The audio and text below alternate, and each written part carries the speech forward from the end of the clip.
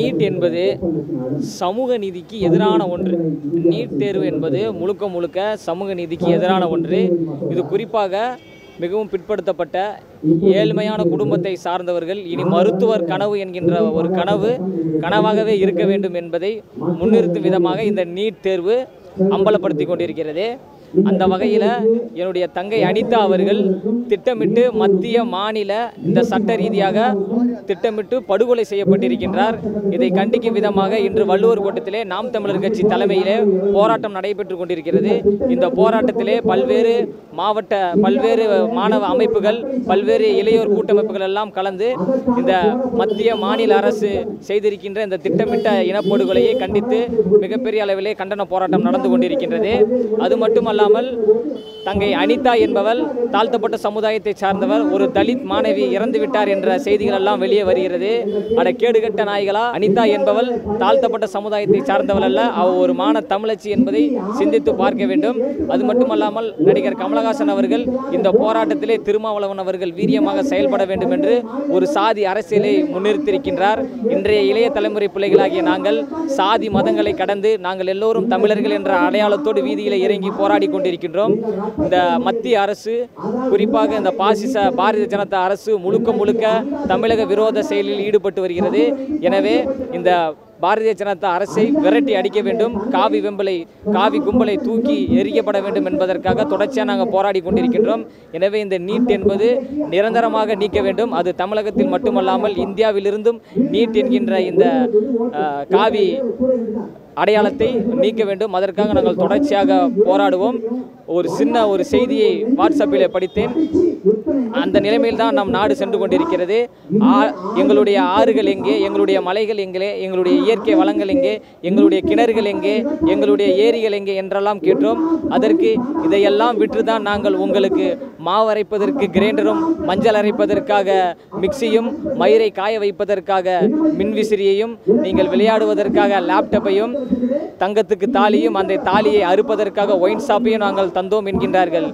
அடுத்த தலைமுறைக்கு நீங்கள் என்னத்தை தந்து சென்றீர்கள் என்று கேட்டபொழுது அவர்கள் சொல்கிறார்கள் அடுத்த தலைமுறை என்று ஒன்று இருக்கவே கூடாது என்பதற்காகத்தான் மரபணு மூலமாக செய்யப்பட்ட விதைகள் காய்கறிகள் அரிசி இதையெல்லாம் கொண்டு வந்திருக்கின்றோம் என்றார்கள். இதையெல்லாம் செய்கிறீர்களே நீங்கள் யார்? என்று கேட்டபொழுது அவர்கள் சொல்கிறார்கள் நாங்கள் தான் உண்மையான தமிழக அரசியல்வாதிகள் என்கின்றார்கள். எனவே மாற்றம் என்பது ஒவ்வொரு மனிதருடைய மனதிலிருந்து மாற்றம் வர வேண்டும். அப்படி மாற்றம் வந்தாதான் ஒட்டுமொத்த மாற்றத்தையும் உண்டு பண்ண முடியும். எனவே மாற்றத்திற்காக தமிழ்நாடு மாணவர் மற்றும் இளையோர் கூட்டமைப்பு தொடர்ச்சியாக போராடும் தமிழக அரசியலை மாற்றுவது எங்களுடைய ஒரே இலக்கு. முதியோர் இல்லமாக இருக்கின்ற சட்டசபையை இளையோர் இல்லமாக மாற்ற வேண்டும். ஏனென்றால் அது முழுக்க முழுக்க முதியோர்கள் வாழ்கின்ற இல்லமாகவும் ஆபாச படங்களை பார்க்கின்ற ஒரு இல்லமாகவும் தான் சட்டசபை செயல்பட்டு கொண்டிருக்கிறது. மக்கள் பிரச்சனையை பேசும் இடமாக அது செயல்படவில்லை. எனவே அந்த இடத்திலே இளைய தலைமுறை பிள்ளைகள் அமர்வதற்காக நாங்கள் தொடர்ச்சியாக போராடுவோம். நீட் தேர்வை நிரந்தரமாக தமிழகத்தில் மட்டுமல்ல இந்தியாவிலிருந்து நீட் என்கின்ற தேர்வு நடைபெறக்கூடாது. அந்த அந்த கல்வியை வியாபாரம் செய்தாய் பொறுமை காத்தோம்.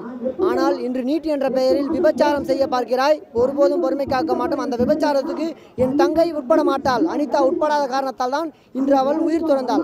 அவள் துறந்தது அவள் அவளை ஆர்ஐபி என்று யாரும் அழைக்கக்கூடாது. அவள் மருத்துவ மருத்துவத்துறையின் விஐபி அவள் தான் ஓகே இதை நீங்கள் தமிழக மக்கள் புரிந்து கொள்ள வேண்டும். அவளை ஆர்ஐபி என்று யாரும் அழைக்கக்கூடாது. அவள் தமிழ் ம- தமிழ் தமிழக மருத்துவத்துறையின் விஐபி என்று நான் பெருமிதத்தை சொல்லி வருகிறேன் இந்த ஆரிய பார்ப்பன அரசு ரொம்ப வன்மையாக கண்டிக்கிறேன். இது வந்து இது தமிழகத்தில் நீட் என்ற தேர்வு இல்லை இருக்கக்கூடாது. என்ன காரணம்னா சிலபஸை உங்கள்கிட்ட புக்கே கொடுக்காம உனக்கு எக்ஸாம் எழுத சொல்கிறாங்க எப்படி எழுதுவேன் உனக்கான சிலபஸ் இல்லை. அந்த சிலபஸ் இல்லாமல் நீ எப்படி எக்ஸாம் எழுதுவேன் ஒரு ஒரு தேர்வு எழுதணும்னா அதுக்கான புக்கை கொடுக்கணும். அந்த புக்கை கொடுத்து நீ தேர்வு எழுத சொல்லணும். அதுவும் கட்டாய திட்டமாக நீ என்ன நீ எப்படி சொல்ல சிபிஎஸ்சி அதாவது சென்ட்ரல் போர்டு படிக்கிற அந்த ஸ்கூல் அதான் இப்போ சொன்னாங்க ஒன் பாயிண்ட் ஃபைவ் அந்த விழுக்காடு இருக்க பசங்க மட்டும் தான் இங்கே இருக்காங்க. படி இப்போ நம்ம தமிழகத்தில் இது மட்டும் தான் நடக்குது. என்னன்னா அந்த ஒன் பாயிண்ட் ஃபைவ் பர்சன்டேஜ் இருக்க ஸ்டூடெண்ட்ஸ் மட்டும் தான் இதில் முன்னுரிமை பெற்றிருக்காங்க. அவங்க மட்டும் தான் பாஸ் ஆக முடியும். அப்போ எப்படி மெடிக்கல் டிபார்ட்மெண்ட்டில் நம்ம வர முடியும்? நல்லா யோசிங்க சிந்திச்சு கொஞ்சம் போராட்டத்துக்கு வெளியே வாங்க. ஃபேஸ்புக்கில் இருந்து ஒரு கமெண்ட்னாலையும் ஒரு லைக்னாலையும் ஒரு பிரோஜனமும் இல்லை. நல்லா யோசிச்சுக்கோங்க. அதை நீங்கள் நல்லா உணரணும். உண்மையாக கொஞ்சம் உணருங்க. நீங்கள் போடுற லைக்ஸ்னாலையும் கமெண்ட்ஸ்னாலையும் ஒரு பிரோஜனம் இல்லை. தெருவுக்கு வந்து போராட வேண்டிய நிலைமை இன்றைக்கி வேணும். இல்லைனா இந்த ஆட்சி மாற்றமும் தேவை அரச மாற்றமும் தேவை. அரசாங்கம் அரசாங்கம் என்பது வேறு எதுவும் இல்லை. இன்றைக்கி இருக்க அரசாங்கம் தனியாரோட கூலிப்படை. கூலிப்படை தான் இன்றைக்கி போலீஸ் யார்? பாடி கார்டு போலீஸ் பணம் இருக்கவனோட பாடி கார்டு தான் போலீஸ். அதனால் தெரிஞ்சுக்கோங்க. வெளிப்படையாக சொல்லிக்கிறேங்க. இனி நம்ம தமிழகத்தில் ஆட்சி மாற்றமும் வரணும். அது அந்த ஆட்சி மாற்றம் வரணும்னா ஓட்டு உரிமை இருக்க ஒரு ஒருவரும் யோசிக்கணும். ஓகேங்களா? ஒரு ஒரு ஓட்டை விற்கிறதுனால தான் இன்றைக்கி இந்த நிலமை வந்திருக்கு. ஓட்டை விற்காதீங்க ஓட்டை விற்றீங்கன்னா அஞ்சு வருஷத்துக்கும் அடிமையாக தான் வாழணும்.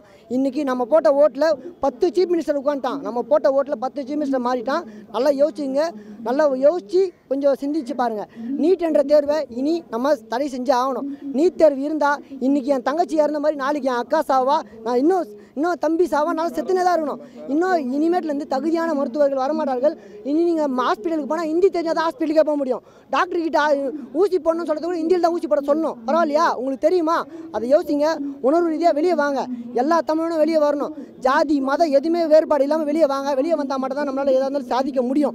இன்றைக்கி கூட ஒரு ஒரு இடத்துல கூடி கூடி தனித்தனியாக போராட்டம் பண்ணுறோம் ஒரு ஒருத்தரும் நல்லா யோசிச்சு பாருங்கள் நம்ம நம்ம மக்களோட எண்ணம் என்னென்னா எத்தனை என்ன பண்ணுறோம் நம்ம என்ன எத்தனை பேர் அவங்கள அவங்களோட முக்கிய முக்கியத்துவமே அது உண்மையாக பொய்யான்றதுலாம் இல்லை. எ- எண்ணிக்கை தான் இன்றைக்கி பின்னாடி இருக்க கூட்டம் பத்து பேராக இருந்தால் உண் அவன் உண்மை சொல்கிறானா பொய் சொல்கிறானா அதெல்லாம் அவங்களுக்கு முக்கியம் இல்லைங்க. எத்தனை பேர் இருக்கான்னு பார்க்குறாங்க பின்னாடி? ஆயிரம் பேர் இருந்தால் அவன் சொல்கிறது பொய்யாக இருந்தாலும் உண்மையாக்கப்படுது. யோசிச்சுக்கோங்க இன்றைக்கி திராவிட கட்சிகள் ஒழிய வேண்டும். திராவிடம் என்ற பெயரில் உருவாக்கப்படுகிற பொய்கள் ஒழிய வேண்டும். ஒவ்வொருவரும் உணர வேண்டும். தமிழக மக்கள் அனைவரும் உணர வேண்டும். நீட் என்ற தேர்வை அடியோடு ஒழிக்க வேண்டும்.